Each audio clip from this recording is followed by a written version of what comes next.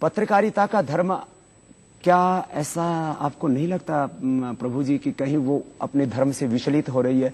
हम टीवी चैनलों के ऊपर देखते हैं, आपका राशिफल क्या है? कौन सा ग्रह आपके ऊपर चढ़ा हुआ है? उस ग्रह की शांति के लिए आप क्या करें?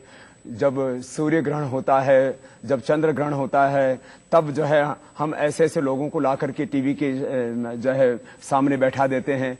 देश के लोगों को क्राइम के जो है अलग अलग तरीके दिखा करके सिखाया जाए कि क्राइम कैसे किया जाता है। मैंने साधु और पत्रकार इन दोनों के साथ में पंगा लेने का, का मन नहीं बना रखा। लेकिन आज मैं आपसे पंगा ले रहा हूँ। पंगा लीजिए आपने आप, आपने सवाल बहुत अच्छा पूछा। चौबीस घंटे का चैनल होता है मैगजीन होती है जैसे आप खाना परोसते हैं खाना में हर चीज़ की होती है।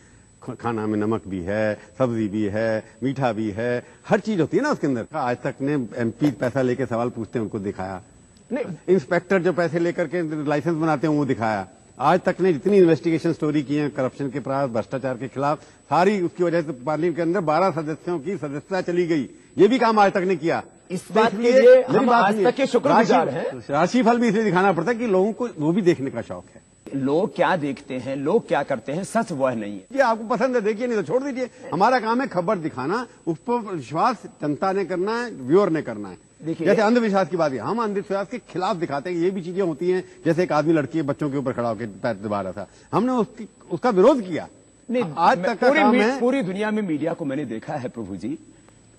जो है यूके में कनाडा में यूएसए में जर्मनी में जापान में वहाँ पर भी मैंने न्यूज़ चैनल देखे। वहाँ पर तो कोई जो है राशिफल नहीं दिखाता। वहाँ पर तो कोई भूत प्रेतों- का प्रोग्राम नहीं दिखाता।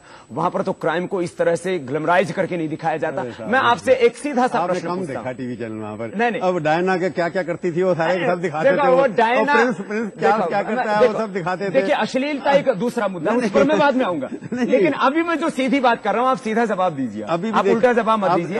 आप सीधा जवाब ये दीजिए बात चाहे उल्टी हो लेकिन आप जवाब आपको सीधे देने पड़ेंगे। उल्टी बातों के सीधे जवाब देने पड़ेंगे।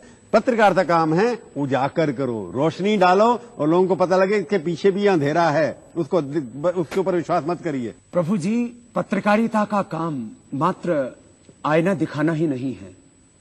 समाज को उनके कर्तव्यों का मायना बताना भी है। नहीं रात हमारा काम है आईना करना और बताना लोगों के क्या गलत हो रहा है। उसके बाद जनता का फैसला है कि क्या करना चाहती है उनके साथ। उनके पास वोट है सरकार बदल दे सकती है। हमारा काम है आपने कहा ना कि हमारा काम है पर्दाफाश करना। दिखाते हैं। आना दिखाते हैं कि शक्ल तुम्हारी कैसी लेकिन है। पत्रकारिता का जन्म एक मिशन की तरह हुआ था। आज पत्रकारिता एक मिशन कम और एक प्रोफेशन कहीं ज़्यादा हो गई है ऐसा लगता है।